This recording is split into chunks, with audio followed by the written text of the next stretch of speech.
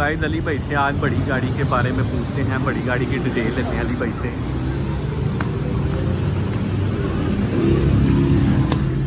अस्सलाम वालेकुम अली भाई।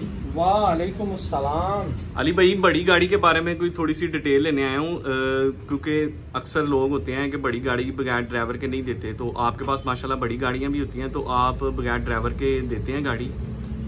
जी, अल्हम्दुलिल्लाह, हमारे पास तकरीबन तमाम इकसाम की गाड़ियाँ, बड़ी, छोटी, तकरीबन सारी गाड़ियाँ अवेलेबल होती हैं, जिसमें वी एट फॉर्चूनर रीगो डाले प्राडो किया स्पोर्टिज इसके अलावा सिटी यारिस और वैगनार कर्टस एक्स वाई ये तकरीबन आलमोस्ट हर नस्ल की गाड़ी जो पाकिस्तान में चलती है हमारे पास मौजूद होती है और हम सेल्फ ड्राइव की गाड़ी देते हैं। तो अली भाई इसका क्या तरीका कार है बड़ी गाड़ी सेल्फ ड्राइव पे लेने का? इसकी क्या आपकी रिक्वायरमेंट होती है?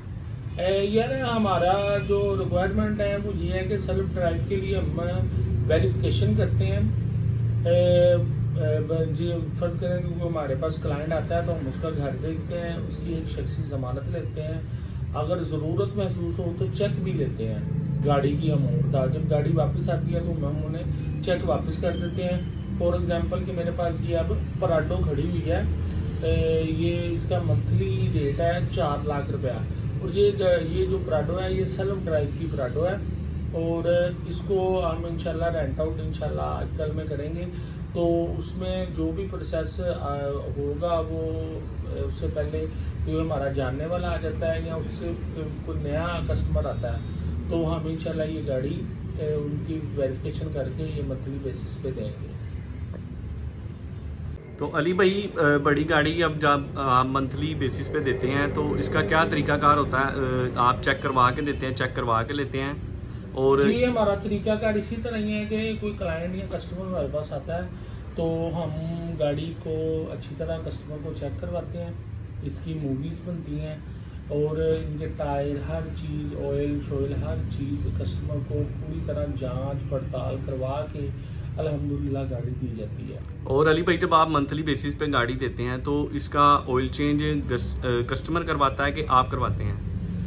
यार इसका तरीकाकार ये होता है मंथली बेसिस पे कि अगर ए, हमने हम फ्रेश ऑयल चेंज करवा के देते हैं कस्टमर को जिस दिन हम गाड़ी हैंड ओवर करते हैं वेरी फ़र्स्ट डे हम नया ऑयल चेंज करवा के देते हैं, जब गाड़ी हमारे पास वापस आती है या उसके दौरान अगर गाड़ी का ऑयल चेंज होने वाला हो जाता है तो वो कस्टमर खुद करवाएगा और हमें फ्रेश ऑयल चेंज करवा के गाड़ी रिटर्न करेगा। जिस दिन वो वापस करेगा, हमें फ्रेश ऑयल चेंज करवा के वो गाड़ी वापस करेगा।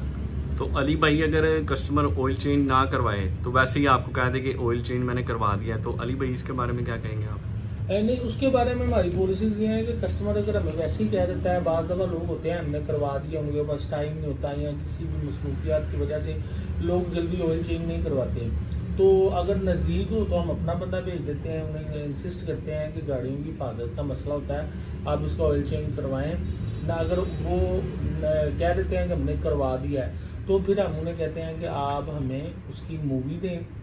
जिस जिस टाइम हम यानी कि ये हमारी पॉलिसी में शामिल है कि जब भी कस्टमर कोई काम करवाएगा गाड़ी का तो उसकी मूवी लाजमी बनाएगा।